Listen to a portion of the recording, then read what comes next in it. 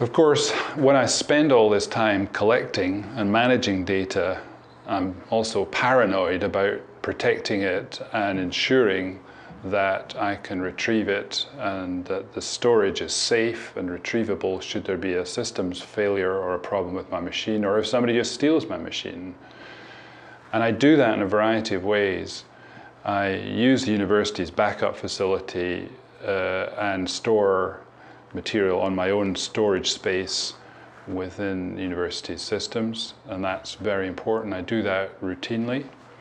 Uh, I have uh, a hard disk, an external hard disk, which uh, I back up on a regular basis. Uh, I have something which you'd be familiar with called Time Machine, which does this for the Mac and uh, does it every hour if I wanted to do that. In point of fact, I usually do it every day or two.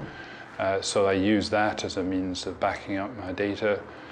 And I have a, a, a further additional uh, hard disk, which I also use when I'm perhaps away from home. So I'm in the field, I've got a little uh, external drive that I back up onto that so that uh, I make absolutely sure that there are ways that I can retrieve that information should any of these systems go down. Uh, what I don't do is leave it on memory sticks and things of this kind, which seem to me an extremely hazardous way of uh, keeping material. But I have uh, some students who do that despite my admonition.